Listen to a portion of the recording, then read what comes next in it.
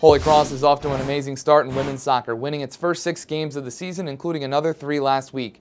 Aly Spencer was the catalyst early, but in a pair of weekend games, the Crusaders showed that they have more than just one scoring threat. Holy Cross opened up the week on the road at Bryant on Tuesday last week, and Spencer notched her fifth goal of the season in the sixth minute of the game. After Bryant scored in the second half to force overtime, Spencer buried the game winner on a fast break pass from Caitlin Harty with 12 seconds left in double OT for the 2-1 victory. On Friday against Maine, all it took was a late game-winning goal and a great pass from Gina Regini, who sprung Carashaw free on a breakaway for the 1-0 lead in the 78th minute. Holy Cross closed the weekend with a home match against Albany, and Caitlin Harty got it started with a goal in the 27th minute. And in the 68th minute, the Crusaders tacked on an own goal to seal the 2-0 win. Colgate also had a big week hosting the Nike Colgate Classic. And in the opener against Vermont, Jenna Rapel, Carolyn Bronner, and Emily Mnuchin all scored in the 3-1 win.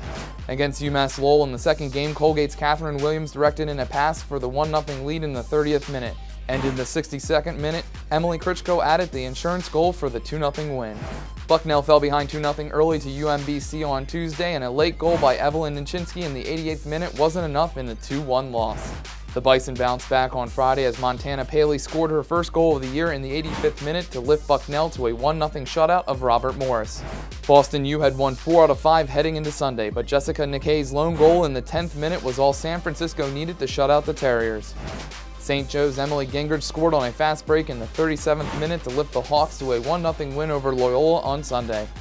Lehigh's Darby Wigan made it 1-0 early with a goal in the 14th minute on Sunday, but Villanova quickly countered with a goal from Katie Martin in the 20th minute and the two teams played to a 1-1 draw. Navy jumped out on top of Maryland 1-0 in the 34th minute on Rachel Hunter's goal, but the Terrapins equalized less than 10 minutes later and the game finished in a 1-1 draw. Army won a pair of games at home last week, including a 2-1 win over Columbia on Sunday, sparked by Katie Holder's game-winning goal in the 66th minute. Here's a quick look at the point leaders in women's soccer with Aly Spencer out in front with her 13 points on her league best six goals. Teammate Caitlin Harty is in second place with 8 points, and Navy's Morgan Dankanich has 7 points, tied with Loyola's Jessica Van Dyke. Holy Cross and Lehigh are the only undefeateds left in women's soccer, while four other teams boast records of 500 or better.